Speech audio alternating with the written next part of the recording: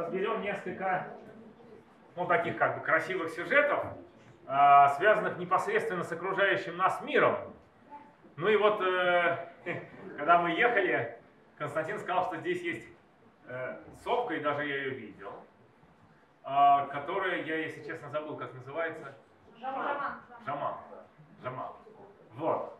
И, и, и, и вокруг, вот, знаете, идеальная ситуация, идеальная, это когда одна гора, одна гора стоит в чистом поле, в степи, более того, да, совершенно ровной. И вопрос, который мы разбираем почти всегда, куда бы я ни приезжал, я всегда выбираю какую-нибудь недалеко расположенную гору и задаю один и тот же вопрос. Насколько далеко с нее видно? Не решали в школе такую задачу? У вас просто вот, это, это, знаете, бывает модельный эксперимент. Условия этого эксперимента здесь самые оптимальные. Потому что когда, например, э, спрашиваешь в Москве, вот я там э, за- забрался, допустим, на дерево, да, и вот насколько далеко вам мне видно с дерева. Ну там вокруг другие деревья, там вокруг овраги, там вокруг чуть выше, чуть ниже, да, Э, пересеченная местность называется. И такая математическая да, формула видимости, она будет не совпадать с реальной. И в горной системе, в большой горной системе, можно там на очень высокую гору залезть, тоже считаешь формулу а, по формуле, какая получается видимость. Но дело в том, что там другие горы, да, там э, они загораживают. И опять нужно только мысленно представлять себе, а, докуда было бы видно, если бы, и так далее. А вот здесь ситуация совершенно идеальна. Итак, давайте решать эту задачу. А, Мне была сообщена высота этой горы 300 метров, да? Кто знает более точный ответ? Около 300, да. Будем тогда вот из этого исходить. И а, вопрос такой, а почему вообще должно быть там видно ну, на какое-то расстояние? Вот я смотрю вдаль, но вот куда моих глаз хватает, вроде как туда и видно. Или что-то не так?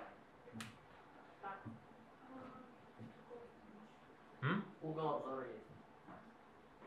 Ну, угол, вот я туда раз, смотрю, вот там, ну, туда. Почему, например, я не вижу Москвы? Земля. Вот, молодцы, правильно. Потому что я неправильно нарисовал.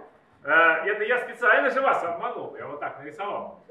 А на, на самом деле это не так надо рисовать. И рисовать надо, ну вот примерно вот так, да. То есть она начинает уходить туда, за горизонт, загибаясь вот так. И поэтому э, какие-то очень далекие точки не видны, они просто находятся за горизонтом. То есть если бы Земля была прозрачной, то я бы их видел, а так она загораживает сама закругляющаяся Земля.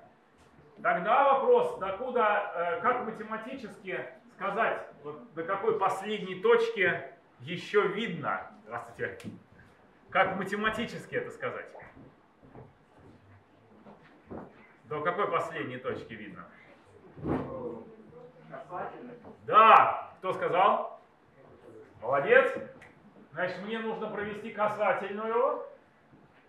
Вот так вот провести касательную к поверхности Земли. Ну, как бы в миниатюре это будет выглядеть вот так, да? Миниатюрно. Но это, вот эта картина, она такая очень гротескная. Если бы Земля была вот такая, то вот это тысяча, больше тысячи километров было бы над Землей высота, да? То есть, но для того, чтобы понимать картинку, да, вот, вот до касательной дальше не видно. Похоже на прямоугольный треугольник. Так, и где он здесь? Вы его сами уже нарисовали. Ну, я не совсем нарисовал его. Ну, А. одна вершина у нас, получается, находится на вершине горы. Вон гипотенуза и два качества уже понятно. Нет, дело в том, что он изогнутый. Давайте найдем здесь настоящий, не изогнутый прямоугольный треугольник. Ну? Одна вершина от вершины горы, отлично. Дальше. Вторая точка тоже очевидна, да, какая? А, да, да, точка, до которой мы можем видеть, то бишь э, линия горизонта. Точка пересечения Да. с самой землей нет? А вот если с Землей, то не получится, потому что будет изогнутый треугольник, а про него мы никаких теорем не знаем. Может, они и есть, но они нам не помогут. Нам нужен какой-то прямой треугольник, настоящий. Прямоугольный и прям треугольник, да, чтобы... Чтоб тему к Если точки, где начало горы, Да, начиная точка с высоты, они как пересекутся. вот эти две. Да. Ну Верх- вот, Верхняя и нижняя. но тогда вот как бы вот если так Нет, там вода и низ прямо. под ними, вот сюда, Ну, прямую провести. провел, Не-не-не, в другую сторону. Вправо, Б. вот так. Да, да, да. Тогда он не прямоугольный. Угол на 90 градусов. Да. А где же здесь все-таки прямоугольный треугольник? Он здесь есть. Но его нужно здесь увидеть. Внутренним взором увидеть его.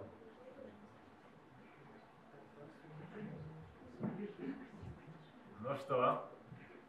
Может это от вершины горы до, собственно говоря, Центра земли или как? Отличная версия. Третья точка вот здесь. Центр земли. Центр Земли. А почему будет, э, вот, вот я, мы утверждаем, что это прямоугольный треугольник. А почему? А, точка О, А. Почему? Потому что один из углов равен 90 градусов. А какой? А, угол, образующийся двумя качествами. Угол Б получается. Да, а почему 90 градусов? А, потому что два качества стоят 90 градусов, или по-другому а, синус угла между ними один. Не, нет, это понятно. Я имею в виду, по какой причине мы утверждаем, что 90 градусов в данном случае. А они расположены прямо относительно друг друга. Э, не понял. Ну хорошо. Давайте думать. Значит, э, еще какую-то такую картинку нарисую, такую же. Так, вот тоже какие-то три точки. А, также расположены, и тоже здесь 90 градусов. Почему? Если мы проводим касательную, то радиус будет перпендикулярен касательной. Все, верно. Правильный ответ. Правильный ответ стоит в том, что касательная всегда перпендикулярна радиусу. Поэтому соответствующий треугольник будет прямоугольный. Одна из сторон получается и равна радиусу Да, одна из, один из качеств будет радиусом Земли. Ну давайте сейчас посмотрим. Вот давайте вот э, как бы эта картинка немножко сбивает с толку, вот эта картинка более похожа на правду, хотя на самом деле она должна быть вот такой, тут вот где-то вот здесь далеко-далеко-далеко внизу, да, у меня будет центр Земли. Ну вот давайте вот это возьмем, вот, вот эту картинку, скажем, вот А, вот Б, вот С. Почему я сказал, что это сбивает с толку? Потому что кажется, что вот эти две равны, это случайно получилось. Итак, значит, АБ, АБ, это искомая величина, назовем ее L. Искомая, искомая величина. Я не знаю, чему она равна. Так, дальше, BC, как было сказано, равно чему? 90 градусов? Раз, Нет, вот это вот, да, это радиус R, радиус Земли. Так, а э, чему он равен? Поднимите руку, кто знает. 6400 километров, приблизительно. Так, приблизительно 6400 километров. Надо сказать, что это довольно удобно по причине, э, которая выяснится чуть позже. Так, а чему равно АС? 300, кил- 300 метров АС э, в высоте горы. А, нет, это же еще до центра Земли идет, да? вот. Это будет от центра Земли плюс высота. Правильно. 6700 700. метров. Нет, дело в том, что 6400 было километров. А, 64, а, 6400 километров, 300 метров. Да, вот так вот, э, точка 3 десятых. Но я, пред- я предпочитаю обозначить вот так, чтобы получить формулу. Не только для нашей горы, но и, например, для вершины Тяньшаня. А об этом я думал, когда я ехал в сторону границы на машине из Петухова, да? Я подумал, какую гору надо здесь взять? Мы же в чистом поле. Какие здесь горы? Я же не знал про вот эту э, значит, гору. И я думаю, надо взять Тяньшань. Тем более я сам там гулял. За Илийский Алатау. Ну, мы, правда, по Терские гуляли. Но все равно. С- За Илийский Алатау наверняка там какая-нибудь гора высоты где-то 4000 метров. И мы будем смотреть, насколько далеко туда видно. А, ну вот мы Сейчас и для нашей вот этой вот сопки посчитаем, и для заилийского латау тоже посчитаем. Поэтому обозначим за h просто высоту, на которую мы смогли забраться над уровнем Земли. И выведем формулу. Насколько далеко будет видно, то есть выведем формулу L в зависимости от h. Будет зависимость. Так, но пока мы обнаружили, что у нас есть прямоугольный треугольник, в котором есть гипотенуза и два катета, да? Два качества. Можно применить теорему Пифагора. Во, давай, диктуй. А, а в квадрате плюс b в квадрате равно c в квадрате. Так, поехали. Значит, гипотенуза в квадрате, да, Да. равна катет А в квадрате плюс второй катет в квадрате. второй катет в квадрате. Второй катет является искомой величиной, и э, нам нужно разложить на множители. Ну, то есть раскрыть скобки. Не разложить на множители, раскрыть скобки. Ну и как это делается? А это не по формуле? Конечно, по Формула формуле. сокращенного умножения. Какая? А, r в квадрате плюс 2rh плюс h в квадрате. Запишем ее. Так, и это равно r в квадрате плюс l в квадрате, да? Да. Правильно? Превосходно. А, что дальше делаем? А можно перенести? За знаком. Да, да. Только с, только с отрицательными знаками. Если r в квадрате, Да.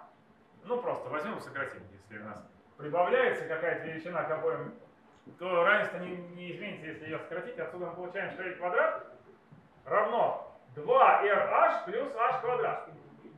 В принципе, это уже формула, но ее не очень удобно использовать, потому что в ней ну, какие-то два этих самых, э, лучше, чтобы был один. Сейчас я поступлю как физики, но не как математики. Математики так не могут поступать. А физикам можно, знаете как? Вот так. Этого нет. Вот такая вот, э, вот так взяли и сократили. Только не делайте так на уроке математики. Потому что за это вам на математике будет поставлена двойка. Но на физике можно. И почему? Кто готов объяснить, почему я сделал так? Только мне нужно для этого равенства, конечно, превратить в примерное равенство. Можно? Давай. А, потому что если вы сократите h в квадрате и h, то все равно останется 1h. А, Не- так Нет? Нет, нет, нет, нет. Я же взял и просто взял и просто проигнорировал. Это как бы Мелочь просто. Что же там маленькая вот, вот, вот. Правильно, правильно. Дело в том, дело в том, что здесь важно соотношение между этими двумя величинами. Я прибавляю, например, к 5 килограммам 1 миллиграмм. Важно ли мне, из чего извлекать корень? Из 5 килограммов или из э, 5 килограммов еще 1 миллиграмм? Ну, ясно, что это будет примерно одно и то же. Мы же примерно смотрим. Но в данном случае отношение этих двух величин, если я одно разделю на другое, будет равно 2rh делить на h квадрат. И вот действительно здесь можно сократить на h и увидеть, что это отношение диаметра Земли к высоте, на которую мы поднялись. Но диаметр Земли это 12 тысяч километров, а мы поднялись, ну даже если я вот- хочу узнать, насколько далеко видно с самолета, это будет 12 просто километров, без тысяч, да? То есть даже на самую высокую точку, которую только мы можем представить себе, она в тысячу раз будет вот это слагаемое меньше, чем это. Ну, ясно, что это значит, что мы просто его игнорируем, так делают физики. И записываем, что видимость а, будет равна, значит, если квадрат видимости равен 2rh, то видимость равна корню квадратному из 2rh. Если кто-то из школьников еще из младших классов, то это просто определение квадратного корня. L умножить на L равно некоторому числу, значит L равно корню квадратного из этого числа. Вот. Но теперь внимание. А, можно по правилам да, действия а, вот так вот сделать. Да. Корень из вот этой величины очень хорошо извлекается. 80. Так, получается 80 корней из 2h. И вот теперь уже можно применить что к Тяньшаню, Что Джаман Сопья. Сейчас я сотру верхнюю часть. Сотру уже вот здесь картиночки эти. Так. И мы посмотрим, насколько же далеко будет видно. И сравним, кстати, видимость.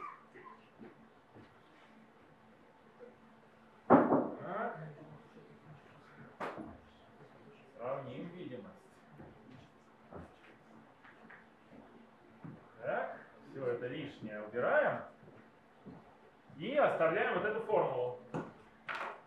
Так, теперь как применять? Смотрите, у нас в метрах, а нам нужно в километрах то же самое. 0,3 километра. Правильно, да. Значит, э, при умножении на двойку будет 0,6, то есть будет вот такая вот формула.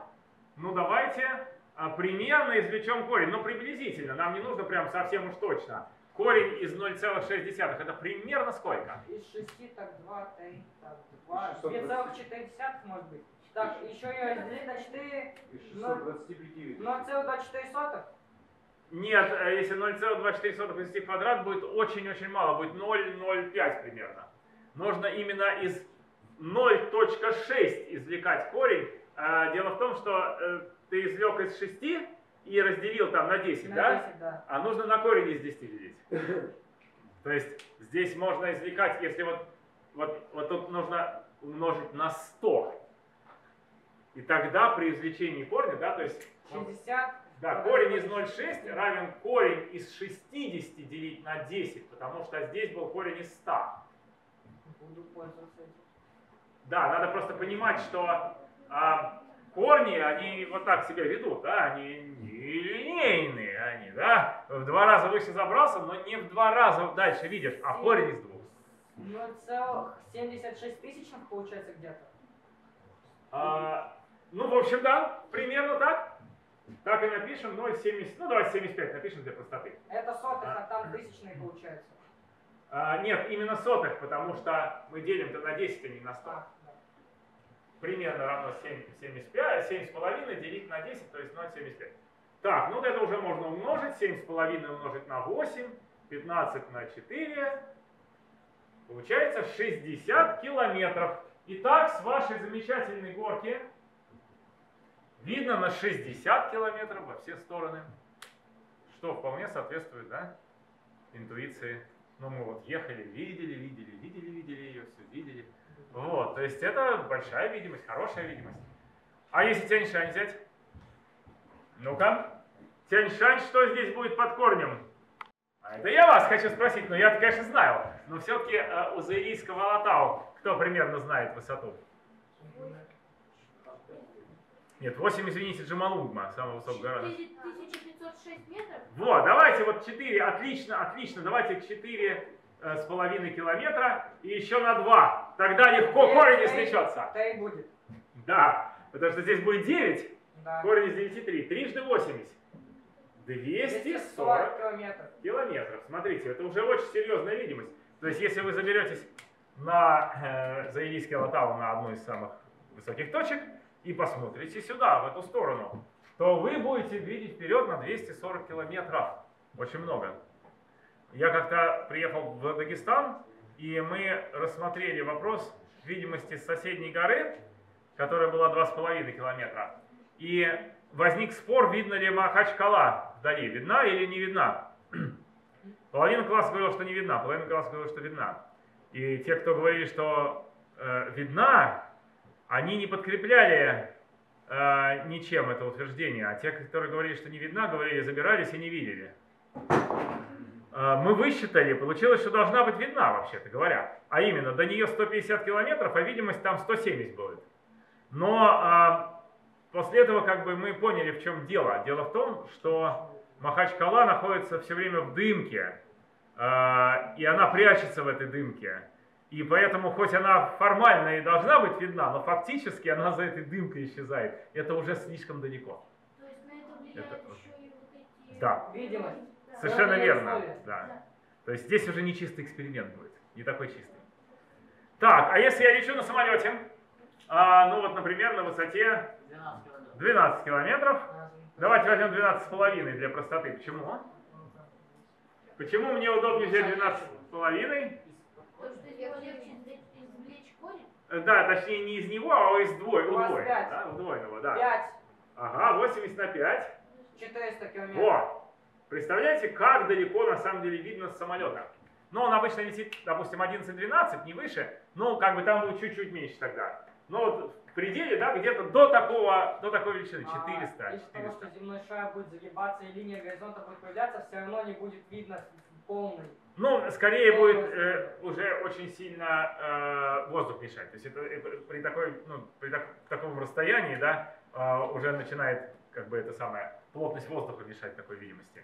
Но, да, фактически вот она, в, идеале она вот такая. Так, ну и можете там, например, э, подставить, скажем, высоту чело- э, человека. А, ну или дерево. Вот дерево, дерево 5 метров, допустим, залезли на дерево, да? А, умножаете на 2, берете корень и умножаете на 80. Ну, посмотрим, что выйдет. А, с дерева, да, видимость? 2 на 0. Я специально написал 5 метров, потому что тогда корень извлекается из 0,01. А чему равен корень из 0,01? 001? Нет? Нет. Нет. А, 0,0010? 0,0010. Нет, 10 Нет. не пишется в конце, потому что... Корень, а, обычно он так себе ведет. Что он, когда извлекаешь его... Может быть, из- одна тысячная? Нет. Нет. А, проверить можно так. Одну тысячную возвести в квадрат. Что получится? Одна миллионная. А нам нужно, чтобы получилась одна сотая. Что нужно возвести в квадрат, чтобы получить одну сотую? Одну десятую, да, вот. Правильно. Значит, 0,1 умножить на 80. Значит, соответственно, это 8 километров. Вот вам, пожалуйста, ответ вполне разумный. Если вы на 5 метров забрались, там на крышу сарая, допустим, да, или на дерево, то вдаль видно на 8 километров. Что очень неплохо, надо сказать, да? Так, ну что, давайте теперь другие разберем жизненные сюжеты. А, и один из них называется «Подсчитаем, сколько машин, сколько машин можно выдать э, в данном регионе э, ну, Казахстана, да. Потом я расскажу, как дело обстоит в России с этим. А, итак, как мне только что тоже рассказали, номер машины, во-первых, в нем есть в конце указание на область, правильно? На регион. На регион, да, то есть 15, вот 15 это ваш, правильно? А, 15 это ваш. У нас 15 это Се- Северная Осетия. А у вас, соответственно, а, А 0,3? у нас 0,3 это Бурятия. А у вас? Курштал. Как? Кокшетау. Кокшетау. Ага. Вторую? Возьмем 15 и посмотрим, что еще вот в номере, ну кроме указания на область. Какие-то буквы. Какие-то буквы, какие-то цифры. Было сказано, что три буквы и три цифры, да? Давайте А. Буквы, буквы, буквы, цифра, цифра, цифра. Вот. И никаких ограничений нет, да? Никаких. То есть здесь могут быть любые латинские, да, в вашем случае буквы. Правильно? Что? А какие нельзя? Такое ограничение есть? Правда, что ли? Некоторые номера же внесены А, базу, нельзя использовать. Там неприличные слова. При сочетании неплохо. Неплохо. У нас проблема эта почти не встает, потому что вот этой буквы у нас нету. Она, значит, в, написании наших машин а, не может присутствовать по некоторой специальной причине, по с которой я потом как бы, вот, чуть позже я про нее скажу. Ну, ладно, значит, ну хорошо, допустим, допустим, все равно это очень небольшой список, правильно? Небольшой. Давайте пока игнорировать это и спросим себя, сколько здесь может быть различных вариантов? А, девять. Ну вот, например, на этом месте сколько может стоять букв? Нет, а сколько вообще? Вот сколько вот здесь? А, 991 вот ка- какие? Латинский алфавит, да? Из каких? Из какого количества букв он состоит? А в латинском алфавите сколько? 30? Кто знает это? Да, правильно. 26. Значит, соответственно, на этом месте может стоять любая из них. У меня будет 26 вариантов выбрать Это только на одну. Правильно, А там только на одну. Значит, итак, 26. А теперь смотрите. Вот, допустим, я выбрал букву А, или букву Б, или букву С, неважно. Теперь я выбираю себе вторую. Но только та уже вычитается, ее уже нельзя выбрать. Нет, можно. Я видел те, которые рядом стоят, я видел. Одинаковые, помните? Можно. Тогда отсюда тоже идет, тоже отсюда идет 26 а, Вариантов. Значит, из каждой вот этой, да, из каждой вот этой идет 26. Итого вот на этом уровне сколько получается вариантов для двух букв? 78? Нет, А, для двух? перемножено.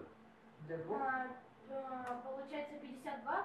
52 буквы? Нет, это, 26 на 26. это уже вот эти два дают 52, а у меня 26 раз по 26.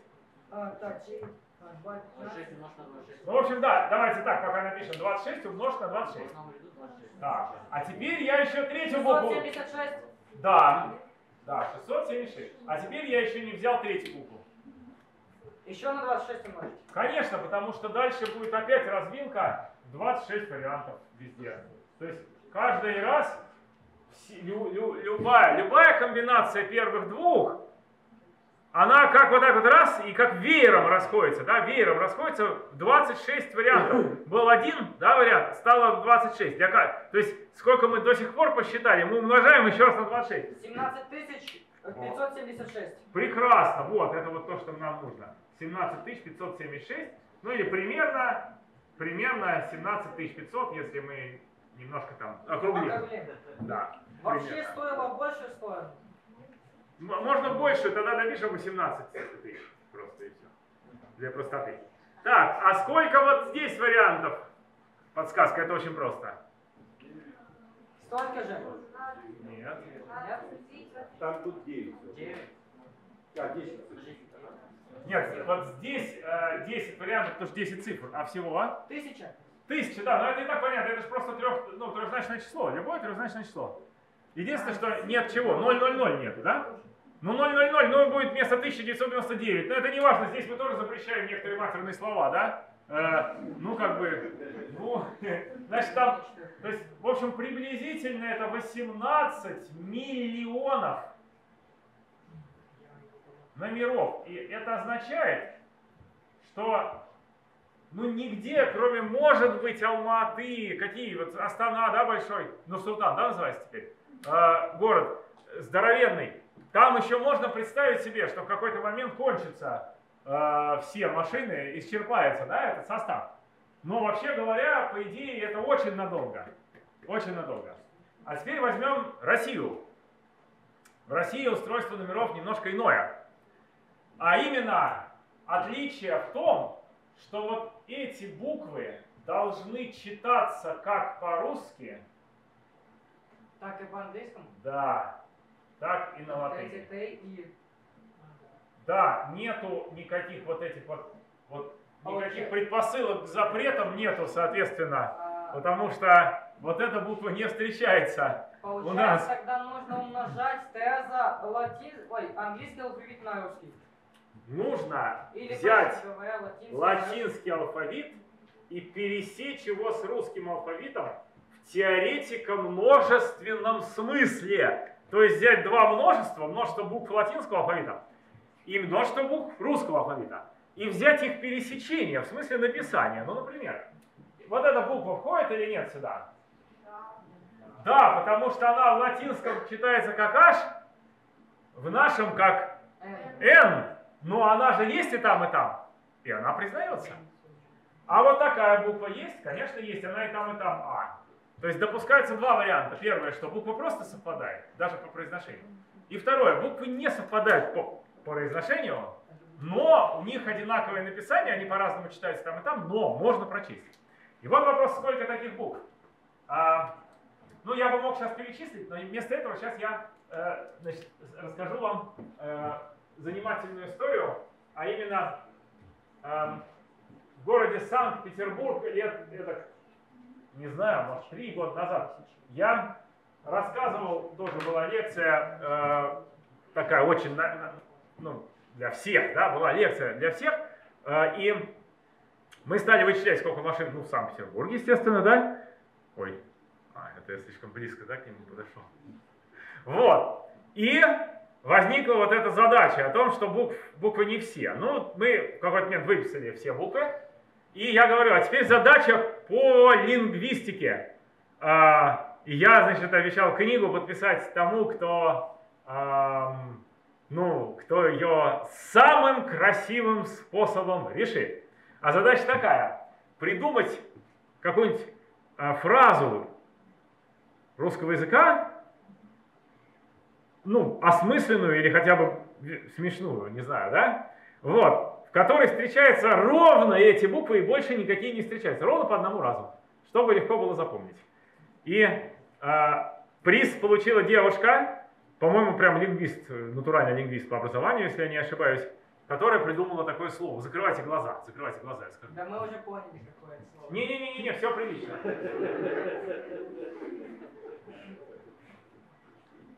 Там было очень много неприличных версий, я вам могу сказать. Э, Мы обхохотались, когда мы получили все эти. Но мы решили, что выберем все-таки приличный ответ. Вот он. Э, Да, это такой прибор, который сканирует и вертит мух. У него двойное назначение, да? Сканирует и мух вертит. Вот, в нем используется ровно по одному разу все эти 12, открывая секрет, букв. Также было сдано примерно 12 матерных вариантов э, для соответствующей фразы, которые я, естественно, здесь не привожу. Но я, честно говорю, мы просто обхохотались. Вот когда мы разбирали эти бумаги, это невозможно было смотреть без слез. Какие там были варианты. Ну что, теперь мы знаем, что у нас 12 нужно возводить в куб, правильно? И вот это вот уже, к сожалению, очень мало. Это в 10 раз меньше, чем у вас. 26 в кубе. Более чем в 10 раз больше, чем 12 в кубе. А, ну, потому что я просто помню. И, соответственно, если умножить еще на 1000, получается что? Под одним номером может быть выпущено всего лишь миллион семьсот тысяч машин. Но, друзья мои, вы знаете, сколько машин выпущено в Москве с момента этой реформы 92 года? А, легко понять. А, нужно перечислить все окончания для Москвы. Когда-то Москва была 77 рус и все. Впоследствии у Москвы появилось, значит, а, 90, 97 рус, 99 рус, а, 197, 199, 777, который был впоследствии подарен Крыму после известных событий, а, 177, а, потом, по-моему, 95 пошла в Москву, 195. В общем, в Москве, а, вот в Москве, наверное, исчерпалось бы даже вот это количество уже к этому моменту, а, потому что около десятка, десятка номеров, да, пришлось давать новых. Но не только в Москве, в Петербурге их штук 6 с областью, если считать, в Екатеринбурге, в Самаре, в Краснодаре по 4 уже раза. То есть, например, Екатеринбург это 66 рус, но он же 96 рус, он же 166 рус, он же 196 рус. Вы представляете, какая путаница, да? Представляете, какая путаница? Мы едем в 2004 году на машине в Владивосток, на Волге. Ездили. И у нас был номер 99 РУС. И вот в Чите, дальше уже. Нет, уже, уже вообще подъезжает там ближе. К Хабаровску. Останавливают гаишники какие-то странные номера. 99 РУС. Это вообще что за регион такой? Я говорю, столица? Столица? Она же 77. Я говорю, ну, 77 уже кончилось. Ну, говорит, вы жирные, блин, да?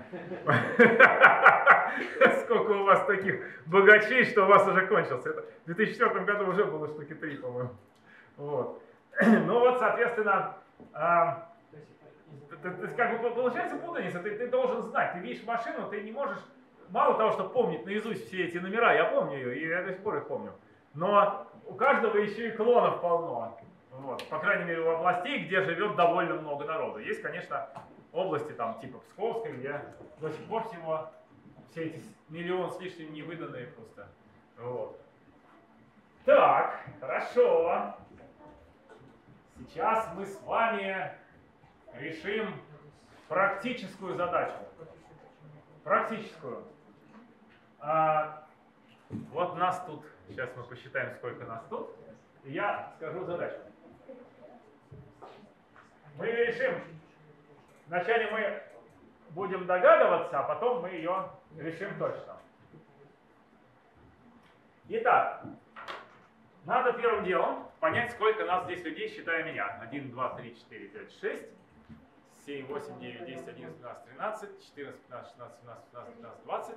Давайте посчитаем, сколько По рядам. человек в одном ряду и умножим на количество рядов. Да, давайте, они будут немножко разное число, но примерно одинаковое. Да. 73 человека. А, уже посчитали, да?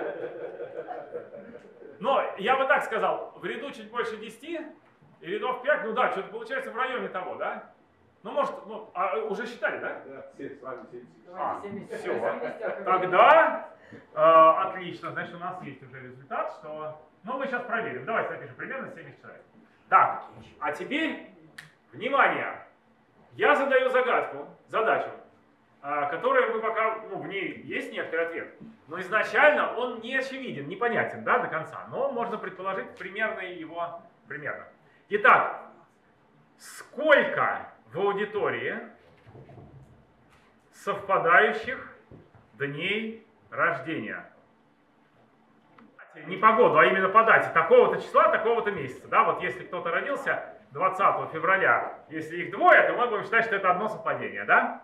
Вот. Ну и как бы если трое, то будем считать, что это сразу три совпадения, потому что если три человека в один день родились, э, то тогда первый со вторым совпал, со- второй с третьим совпал, третий с первым совпал. Но я думаю, что э, насчет трех в один день я не знаю, будет ли здесь.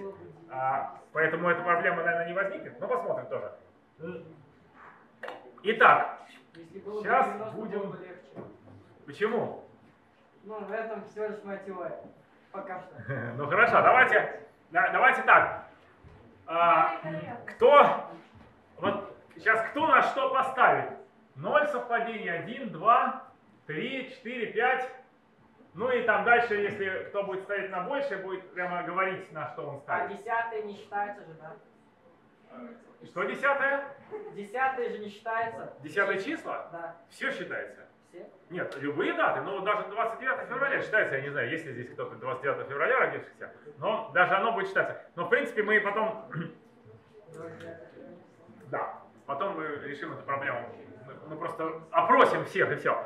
Итак, поднимите руку, кто, э, ну как, это как ставки, знаете как, бывают ставки там на, на лошадок или на футбольные матчи ставки. Вот, давайте, кто ставит на ноль, поднимите руку, что, что не будет ни одного совпадения, так? Ну, несколько человек, да? Два, три. Три человека. Так, хорошо, дальше. Кто ставит на одно совпадение? случайно будет. А? Это не выборка будет. или? Абсолютно случайно будет все. Но тем не менее, есть некоторые представления о том примерно сколько. Так, кто ставит на одно совпадение дня рождения? То есть вот что у кого-то двух, у двух в зале будет только у двух и все, остальные будут разные. Так, это уже неплохо. Раз, два, три, четыре, пять, шесть, семь, восемь, девять, десять, одиннадцать, двенадцать, тринадцать, четырнадцать, пятнадцать. И ты, да? 16 человек. Так, кто поставит на два совпадения? Так. Ага. Раз, два, три, четыре, пять, шесть, семь, восемь, девять, десять. 11, 12, 13, 14, 15, 16, 17, 18, 19, 20, 21, 22, 23, 24. Ну, много, да. Вроде 24 я досчитал, может 25. Кто ставит на три совпадения? Есть смелые раз, два, три, четыре, пять, шесть, семь, восемь человек, кто ставит на три. Кто осмелится поставить на 4?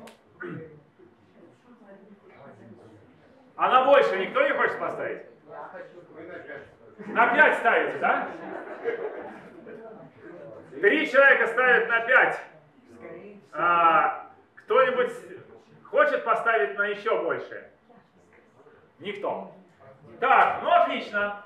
Значит, тогда сейчас проводится 55 человек из 70.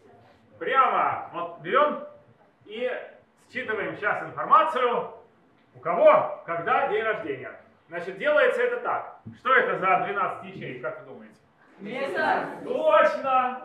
Январь, февраль, март, апрель, май, июнь, июль, август, сентябрь, октябрь, ноябрь и декабрь. Итак, поднимите, пожалуйста, руку те, кто родились в январе. И держите высоко. А, Сейчас вы будете называть мне числа, и я буду их записывать. А, Какого числа? 21. 21. И опускайте руку. Так. Третье. Третье. Так. 15. Пятое. Пятое. 15. Пятое. Двадцать первое. 21. Двадцать 25. пятое. 27 он врет, 27 А 27, да? Есть Эдя адвокаты. Так все-таки 25 или 27? 27 у него. 27. Так. 24. Все, да? А Нет. вот дальше. Двадцать первое. 21. Уже это римские. Да. 21 января три раза. Ничего себе. Так, ну хорошо. А, значит, у нас ну, в январе уже три совпадения. А, ну хорошо, но вы уже поняли, да? Вы уже примерно поняли, что будет дальше, да? Но я, я не утверждаю, что будет так же круто. Но наверняка будет где-то здесь. Сейчас посмотрим теперь февраль. Поднимайте руку, кто родился в феврале. Так, но в феврале, кстати, не так много, возможно, совпадений не будет. Какого числа? 20. 20-го? 24-го? 7-го? 11. 11-го?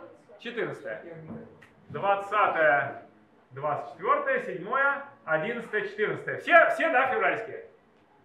Так, здесь совпадений нет. Март! О, вот. Так, сейчас посмотрим. Так, 30 23 Так, сейчас 30 23 28 Дальше. Пятнадцатое. 15 как мой папа. Четырнадцатое. 14 близко.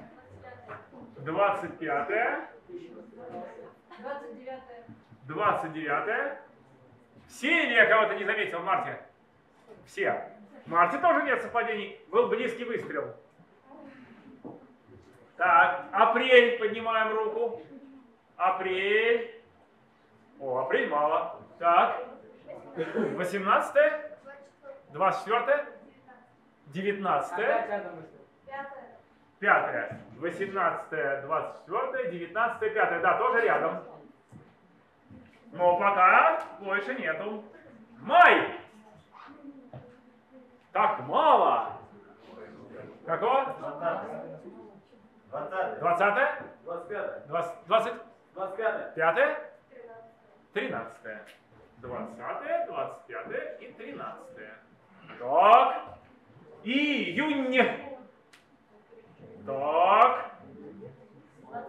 Двадцать третье. 23, как моя мама. Седьмое, третье, второе. Ага. Второе, третье, седьмое, двадцать третье. Тоже совпадений нет. Июль. Двадцать четвертое. Двадцать седьмое. Шестое. Так, двадцать четвертое, двадцать седьмое, шестое. Дальше. 21. Двадцать первое, Первое. двадцать первое, тридцать первое, двадцать седьмое. Да? Так. Еще одно совпадение, 27 июля. Так, 4 уже совпадение идет. Теперь август. Август. Так, какое? Двадцатое. 20 Да. Так, у тебя Женя. Женя. Двадцать первое. 21 Шестое. 6 10 Так, сейчас 20, Еще поднимай, поднимай. 20 21 6 10 и Десятое. 10 тоже. О, 10 Опять совпадение. Все, да, июльские кончились. Ага. Нет? Ой, август, да. А, простите, август. Так, 5 совпадений. Сентябрь.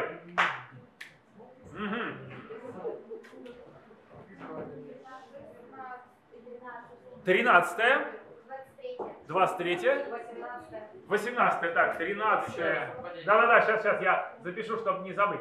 23 18 дальше. 18 18 Шестнадцатое. 16 12 да? Так, 6 совпадений. Назва- назвал, нет? Нет, э, рука. Или уже все, все, да? Все, август, сентябрьский, все, да? Октябрь. О, в октябре только два человека. Какого? 21 20 И рядом при этом. Так. Ноябрь. Да, поехали. 25. 25. Третье. Третье. Третье. Так, 25, 3, 3, сейчас я продолжу, да. 3, 29, дальше. 9, 11, так, 9, 11, 16, 1, 9. Так, 9, 9, 3, 3. 8 совпадений. И, наконец, декабрь. 13 13 О! Так. Дальше. Первое. 12 13 Да вы что, ребята? 26 и 8 Так, нет ли кого-то, кого я не опросил, кто сюда не вошел? Нет, все. Значит, подводим итог. Одиннадцать 11 что? совпадений. Совпадений, да. Потому что еще нужно прибавлять 3, 13 декабря. Ну надо же, 13 декабря. Вот я на самом деле очень много знаю народу, который родились 13 декабря. В этом какой-то фокус, видимо, жизненный есть. Очень часто было совпадение именно со мной, когда я вел лекцию. Это довольно часто было, что было совпадение именно со мной. В этом я даже не знаю, что усмотреть. Непонятно. Да, ну хорошо, итого, у нас 11 совпадений, но даже если вы как бы, вот, даже если скажете, что жульничество считать вот такие за 3, да, все равно будет 9, да, ну даже если считать, что жульничество, хотя на самом деле это правильно, если бы было 4, например, 4 человека родились там 11 сентября, то это было бы 6 совпадений, потому что раз, два, три, четыре, пять и шесть. Ну, число пар, мы считаем число пар. Вот, их было бы 6. Ну, кто-то может сказать, что это немножко жульничество. Но даже если без этого, все равно их, значит, в чем, в чем как бы главный такой вот, э, главное наблюдение вообще вот этой игры? В том, что никогда, никогда, нигде, ни в какой аудитории нет людей, которые ставили бы на больше, чем их есть. Э, то есть люди не понимают, насколько чисты совпадения дней рождений. И вот это я хочу перейти к задаче такой. Вот э, сколько должно быть человек в зале, чтобы э, вероятность того, что совпадение произойдет, была приблизительно 50 на 50.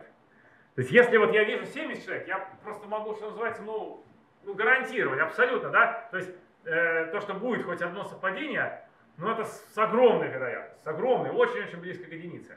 А если, например, 42 человека, то у меня был казус. На самом деле, когда 42 человека, то вероятность того, что есть совпадение, все еще очень велика. Не как для 70, конечно, но она где-то 97%. И вот я однажды словил аудиторию, я пришел как кудесник говорю, о, 42 у вас, о, я знаю, у кого-то совпадает день рождения. Смотрим, ни у кого. Там просто десяток выстрелов в соседние даты, ну вот, вот так вот, типа 20-21 одного того же месяца.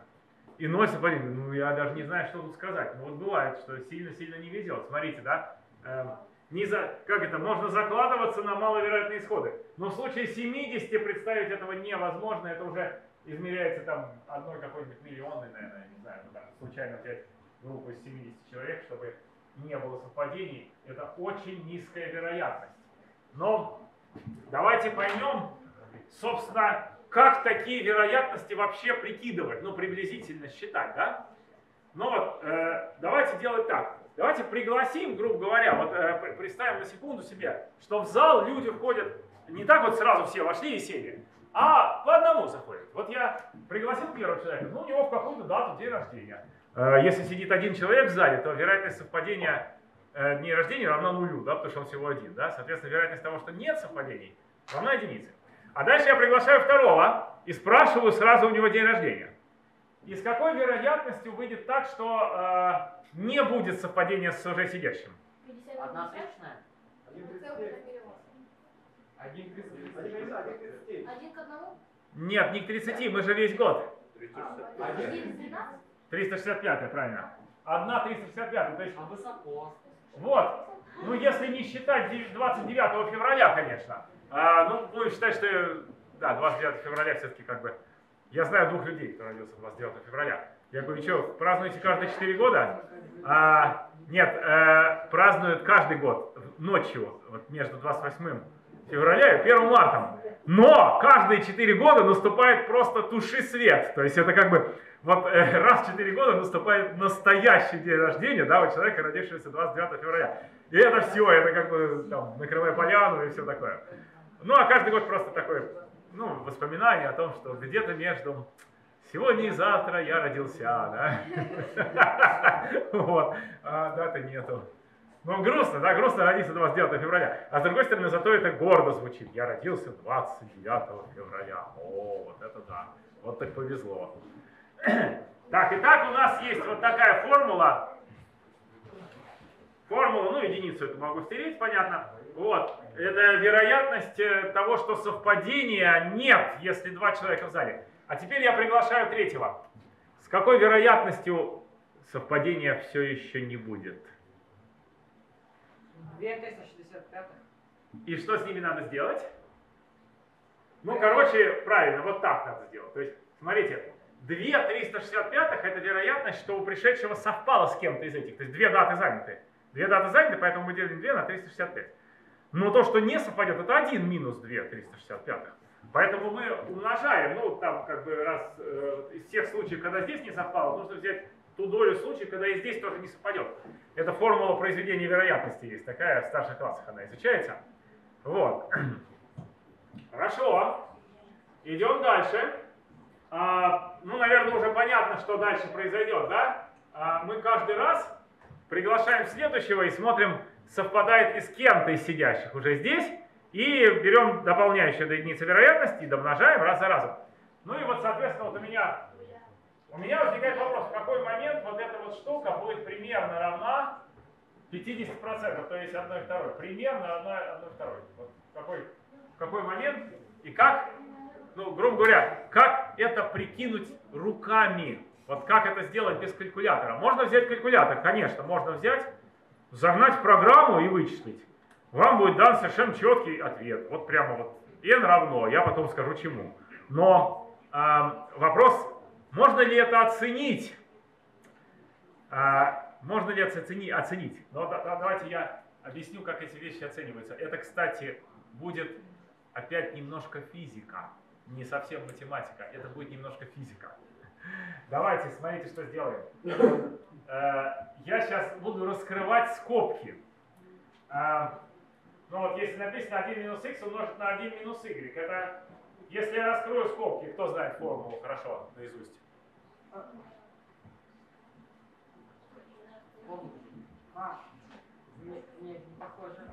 Что будет? В буковках. А в квадрате? Нет, вот это вот, вот я умножаю. 1 минус x, 1 умножить на 1, да, минус x А, умножить на так, в 1. смысле? Один Минус. x. Один y получается и x y. Да, причем это со знаком плюс. А если я еще умножу на, на z, вот это вот на 1 минус y, на 1 минус z, то это, соответственно, 1 минус x минус y минус z плюс xy плюс yz плюс xz минус xyz. Ну вот теперь я делаю следующее. А, Я замечаю, что здесь попарные произведения, вот такие, уже даже попарные, имеют в знаменателе какую-то огромную, совершенно неподъемную величину. Ну и поэтому они примерно равны нулю. Я проигнорировал попарные произведения. Просто взял и проигнорировал. И тогда у меня остается, что это ну, с очень грубой, грубой точностью просто равно вот такой вот э, такой сумме, как бы, да, которую я вычитаю. Ну и вот последнее, А, а остальные я игнорирую просто. Они там, вот эти попарные произведения, делятся на 365 в квадрате. 365 в квадрате это 100 тысяч. 100 тысяч как бы все убивает, да, ну, по крайней мере, до какого-то момента. С какого-то момента перестает убивать, потому что на- на- начинает быть большим, много. И тогда уже перестает действовать формула приближенная. Но до какого-то момента она действует. Ну и давайте посмотрим. Вот здесь у меня написано, что я из единицы должен вычесть сумму арифметической прогрессии, деленную на 365. И чтобы это примерно было равно 1 второй. Примерно. То есть, давайте, давайте, что это означает? А, если я вычитаю вот это, оно должно примерно быть равно 1 второй. Значит, соответственно, вот это само тоже примерно равно 1 второй, правда? Ну, как бы я должен вычесть. Но это значит, что вот это примерно равно половине от 365. То есть вот эта вот сумма, да, она примерно равна, ну там 180, допустим. Да, лучше взять 180. При каком n? Сумму умеете считать суммой арифметических прогрессий? Старшеклассники должны уметь. Есть такая формула. n умножить на n плюс 1 пополам. Никогда не встречали?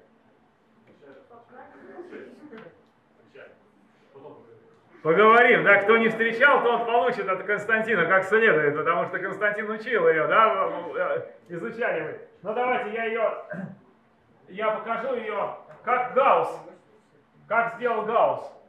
А, к- да, он самый.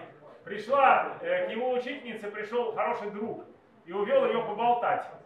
А чтобы не мешали дети на уроке, она взяла и сказала им считать от 1 до 100 сумму. Через три минуты Гаусс выходит, говорит, 5050. Говорит, ах ты сорванец, ты как посчитал?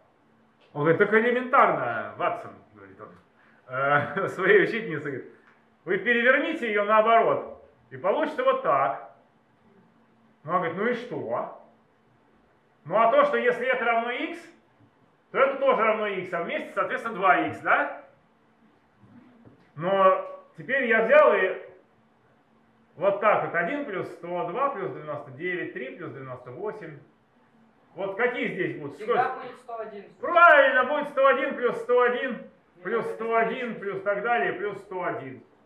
И это 100 раз. Да? Но если я 100 раз сложил 101 сам с собой, то что это такое? Не, 100 раз. Да.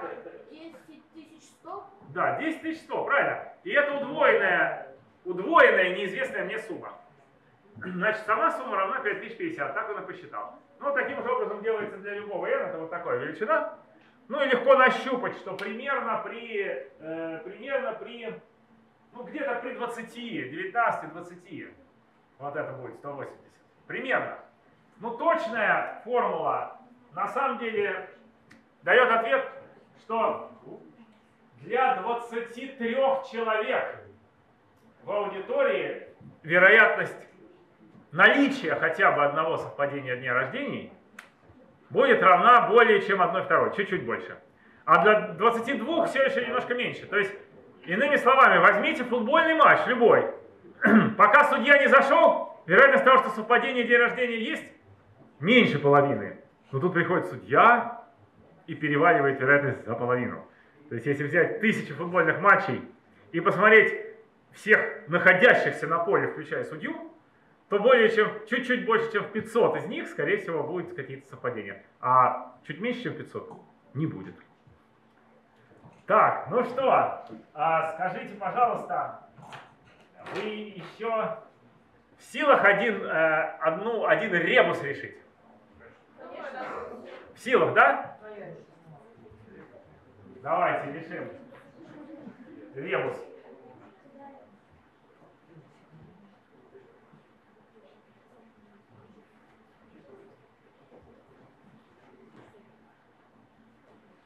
Ну и потом будет,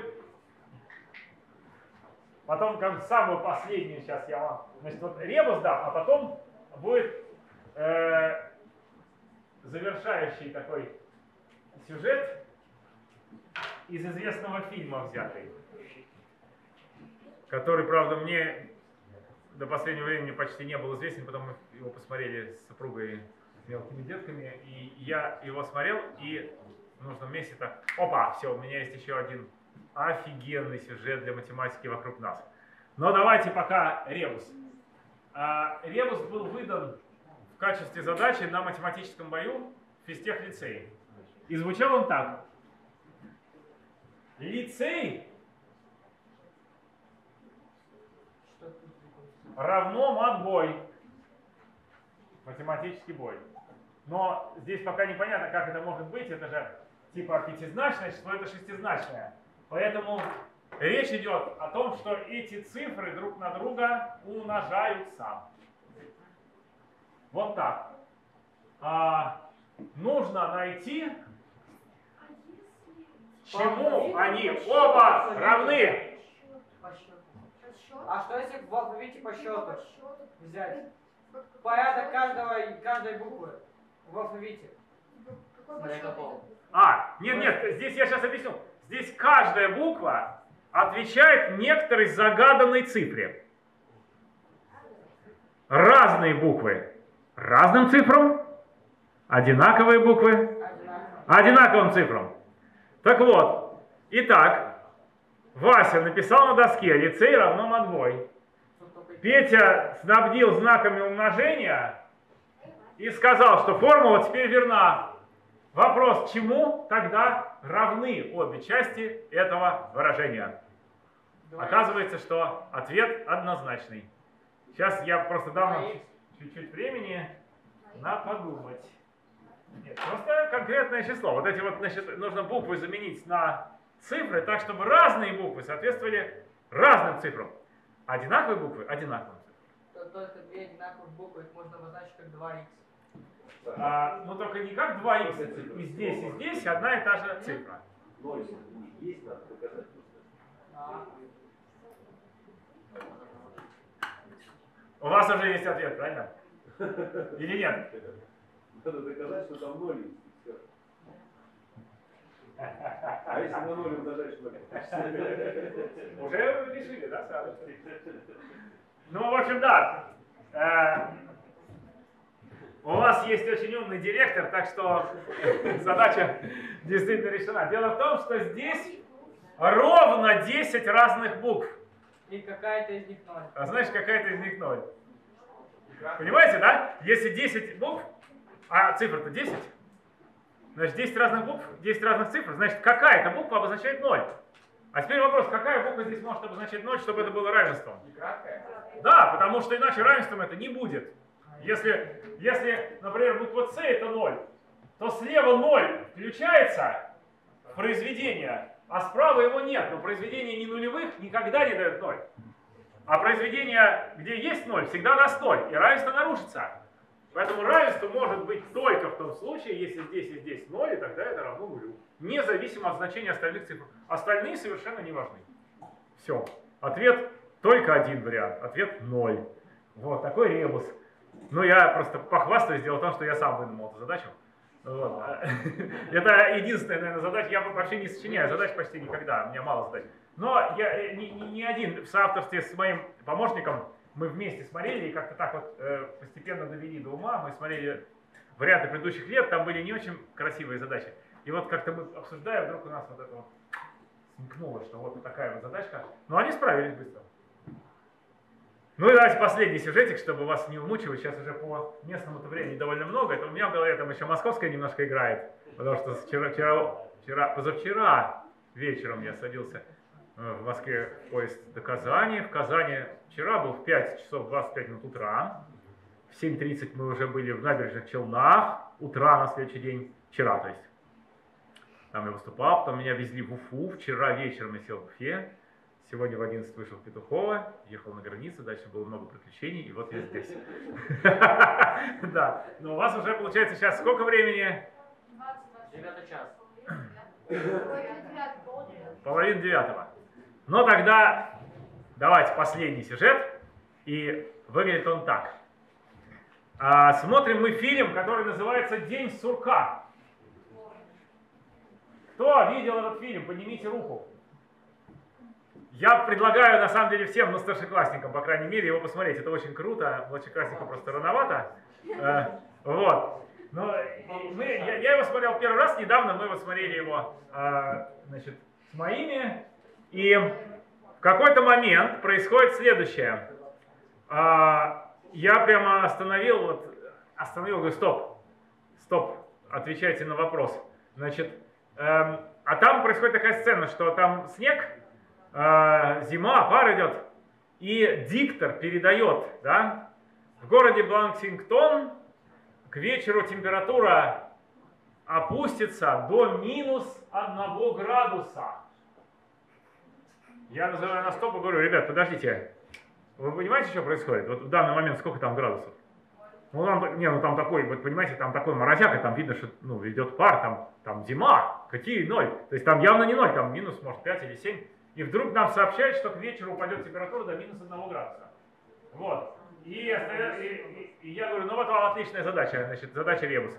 Что, что происходит? Кто отгадает? Температура днем поднимется, а вечером потихоньку- Нет? Да, кто сказал? Так я спрашивал, по какой лет. А в каких? Молодцы, Фаренгейта.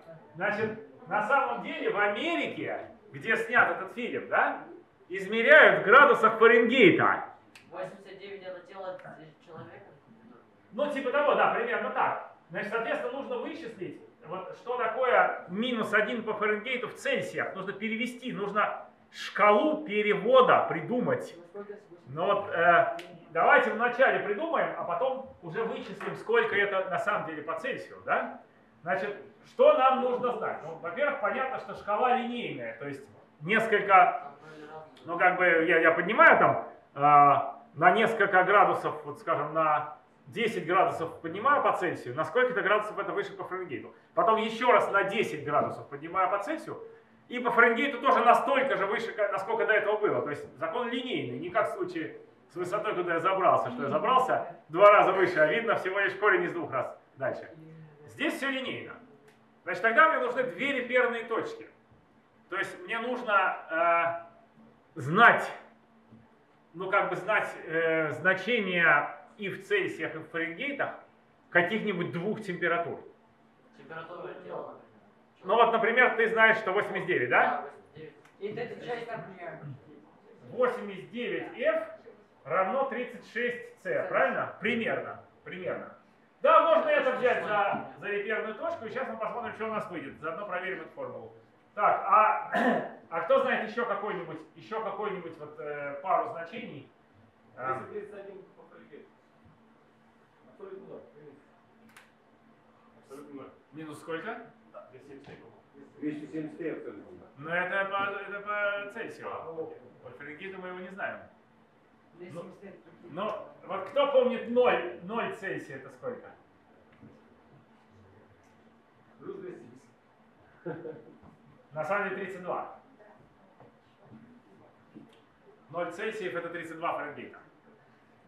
А, более того, есть одна температура, которая совпадает в Цельсиях и Фаренгейтах.